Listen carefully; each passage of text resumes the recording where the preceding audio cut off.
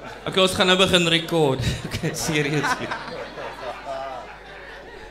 Die volgende liedjie is ook 'n nuwe een wat ek julle nie ken nie, maar is minder hartseer. Ek ek het dit eintlik geskryf met die vir vir die Stellenbosch studente koor en toe hoor ek hulle het hulle gat gesien. Nou moet ek dit self sing. Shame. Lente in die Boland. Picture picture die Stellenbosch studente koor. Hulle staan hier almal in 'n ry, hulle lyk soos goudvissies. Okay.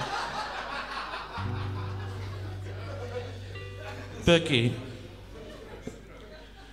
Daar's 'n dorpie wat ek ken, dit is in die blou berge en die lowe van die eike oor die straat.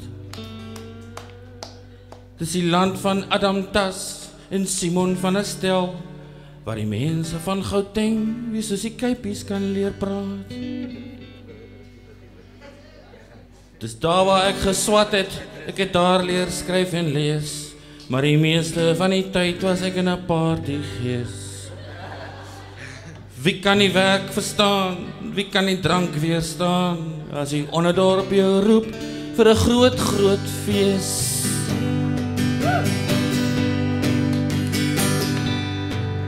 Dit was lente in die Boland in ons mees gesuipte jaar.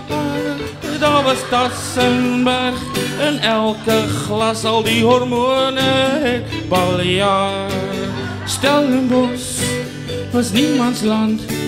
Eksamens ook net om die draai. Maar ons was jonk geweest en ons was dronk geweest. Die hele lewe was 'n bring en braai.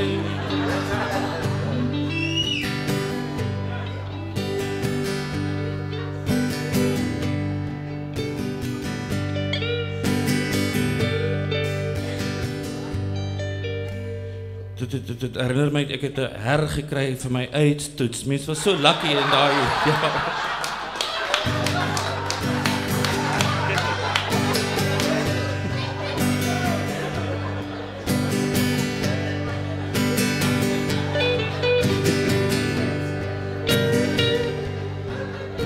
In die akker en die tros het ons oor naweke gedrink en vir vriende en mooi meisies hulle glase vol geskink. Na die riviertjie by die laan het ons al styrend gegaan om te kaffoefel en te vry in die lig van die maan. Ek het haar daar ontmoet. Sy was so oulik en so soet. Die nooientjie van my drome, ja, dis waar. Nou woon ons in 'n huisie Maar ek onthou nog daardie wysie van die gejol en die gevuif van ons beste jare. Dit was lente in die Boland in ons mees gesuipte jare. Daar was Tassenberg en elke glas al die hormone het baljaar. Stellenbosch was niemands land.